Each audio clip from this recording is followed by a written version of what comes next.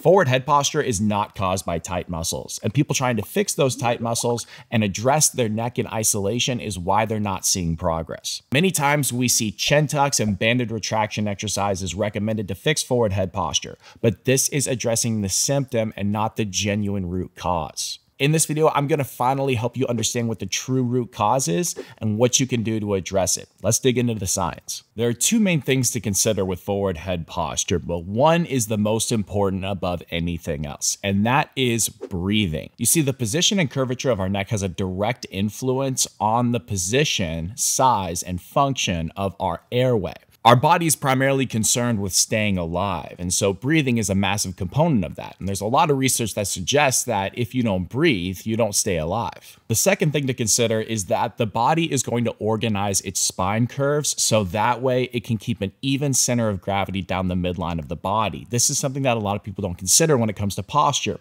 So a lot of the times with people that have a forward head, something else within the lower segments of the spine is tilted in a given direction forward or backwards and that causes the head itself to go forward to accommodate that body trying to find that even center of gravity.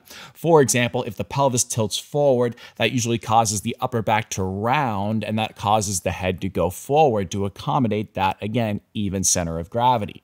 You can also have a pelvis that's tilted underneath you, causing your head to shove forward so that way you can keep yourself stacked and upright against gravity. But the reason why this typically happens in the first place is because the body is seeking a compensatory strategy to breathe in the presence of a diaphragm that's not doing its job very well.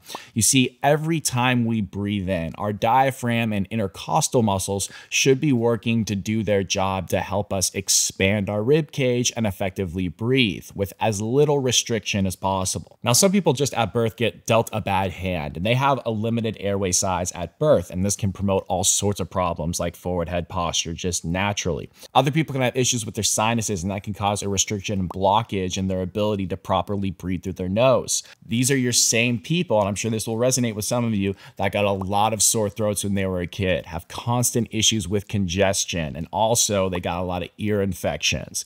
These people commonly have an issue with their airway. And finally, a big one is your tongue. If your tongue doesn't work very well to rest at the roof of your mouth when you breathe, or it doesn't work very well when you swallow, this is big because as we grow up through adolescence and as our face develops, our tongue and the pressure against the roof of the mouth helps expand our jaw and our overall cranial structure, and it helps properly get that airway into a nice size and position.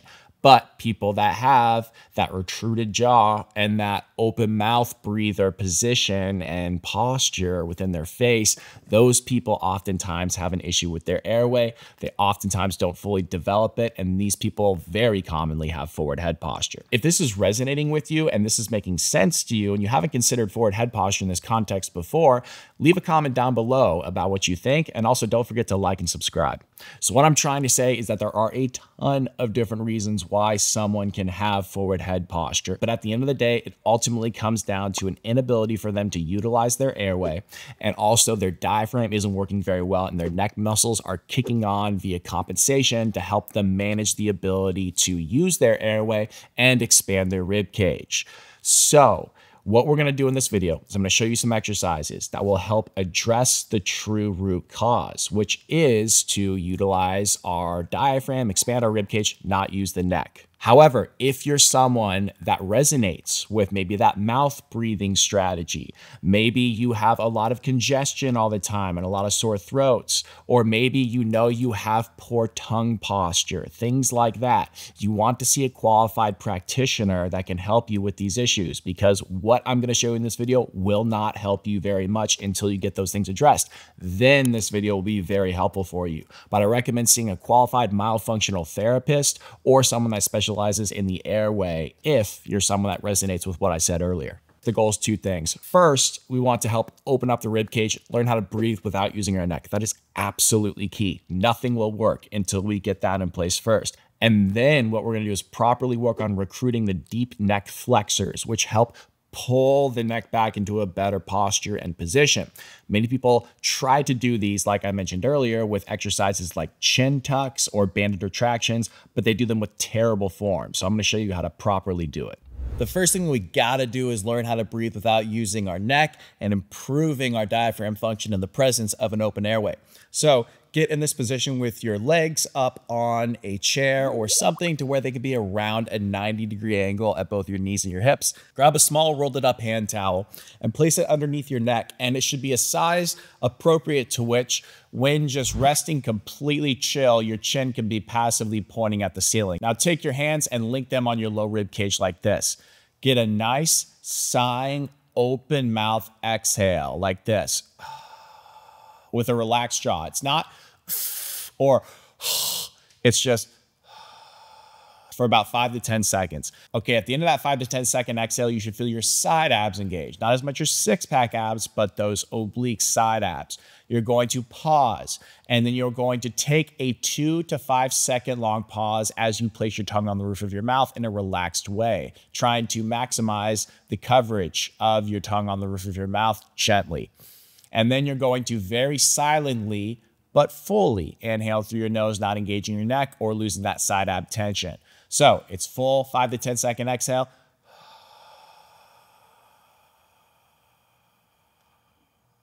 Side abs engage, pause, tongue on the roof of the mouth for about two to five seconds. Silent but full inhale. If you do that well, you're going to feel your rib cage expand, your belly expand a little bit, but it's going to feel like, again, your neck is not engaged. So if you need to go slower on the inhale, that's good. So if you're feeling your neck engaged at all to any extent whatsoever, it's because you're going too hard or too long on the inhale. If you need to break up your inhale into small sections, that's appropriate. Just make sure that it's nice and slow. Softer and longer is always better than harder and more forceful on either the exhale and the inhale. I want you to practice this for about two minutes of breath cycles, going nice and slow, making sure your neck is disengaged. All right, now here's the progression. Once you can master the first thing, you're going to keep your chin passively pointed at the ceiling. You're going to reach your arms directly up. You're going to get a little bit of separation between your shoulder blades and spine into what we call protraction, but you're not going to let your sternum bone depress or your head lift off of the ground.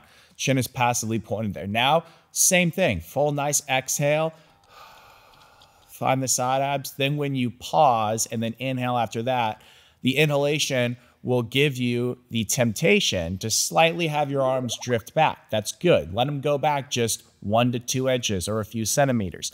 Then hold that, do the same thing. Full exhale, pause, inhale, let them drift back a little further. And you're going to keep going more and more and more until the point where if you were to go back any further, you'd have to shrug your shoulders or your ribs would flare or your low back would come off of the ground. Those things usually happen all at the same time. So let's say my end range is here after like five breaths and I can't go anymore without my ribs flaring or my shoulders shrugging, then that's okay. I'm going to stop there, go back to the beginning, and then I'm going to do that for one more set, seeing if I can't go just a little bit deeper. The goal is your hands are facing each other the entire time. Now, these exercises should give you some instantaneous results in your ability to utilize your diaphragm, not use your neck, and improve function of your airway. But we have to keep in mind what I said earlier is that different sections of the spine and even the hips can put the spine in a given position, which causes a compensatory curvature of the neck and also the upper back. So we have to appreciate that the hips can have an influence on this as well. So if you want a true total root cause and total body approach that can be individualized to you and your own even asymmetries, check out my beginner body restoration program. It's designed for anyone to be able to do and requires minimal equipment and time per day.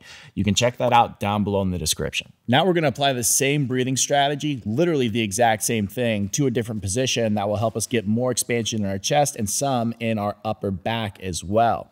So we're gonna place a pillow over some stuff stacked up that's about eh, three to four inches high, or you can just stack multiple pillows up, but you wanna be about this high off of the ground. You're gonna take your elbows and go just below the height of your shoulder like this, and your head is gonna start down, but here's what you're gonna do. You're gonna press through the inside portion of your forearm, elbow, and hand as you lift up a little bit, but don't go so far to the point where your ribs come off of that support right here. You always want your lower ribs supported and slightly pressing into that object right there. And now what you're going to do is you're going to keep your eyes very slightly up, looking just a couple feet in front of you to make sure your airway's in a good position. And you can do that same exact breathing. Full exhale, relax jaw, open five to 10 second exhale.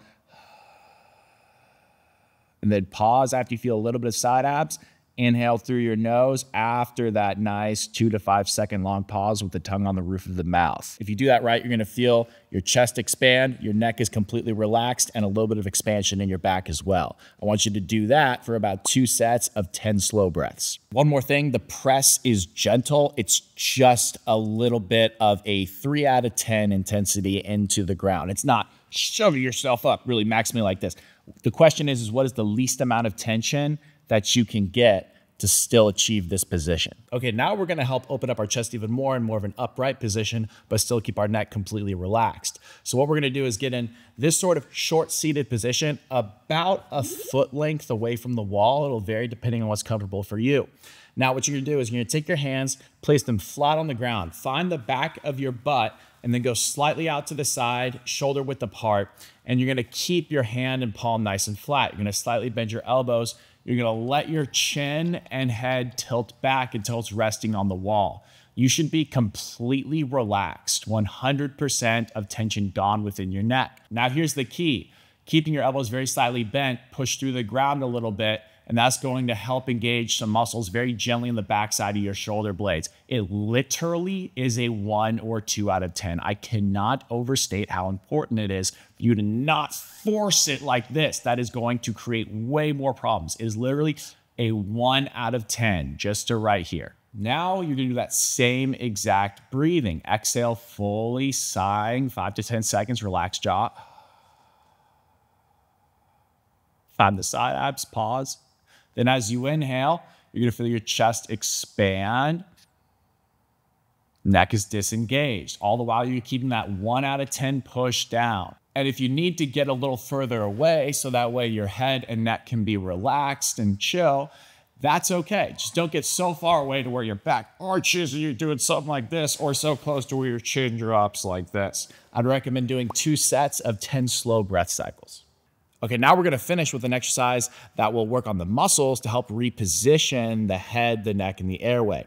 This is a modification of a chin tuck exercise. I see these all the time done with really bad and poor form because people really overemphasize it and they go way too hard and strong. That's not what we wanna do. So what I recommend is sit in a position where you can feel your sit bones evenly on both sides. You're sitting nice and tall. Your sternum is facing straight ahead. It's not depressed or overextended, it's just straight ahead.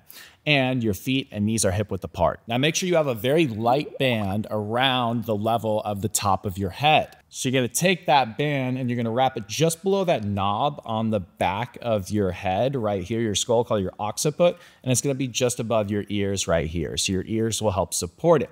Now, you're gonna make sure that you're sitting nice and tall. Your chin is up, nice and level with the ground, and your hands are resting on your thighs. So, first, make sure you can feel your sit bones evenly on both sides, and you're able to keep your chin up. And also, your tongue is on the roof of your mouth, just like the pause during the breathing exercises. You want gentle but maximal surface area coverage of your tongue on the roof of your mouth throughout this entire exercise. Now, here is all it is.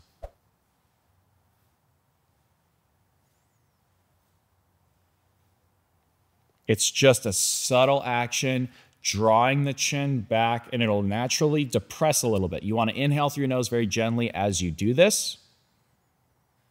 Exhale through your nose and let your chin come forward.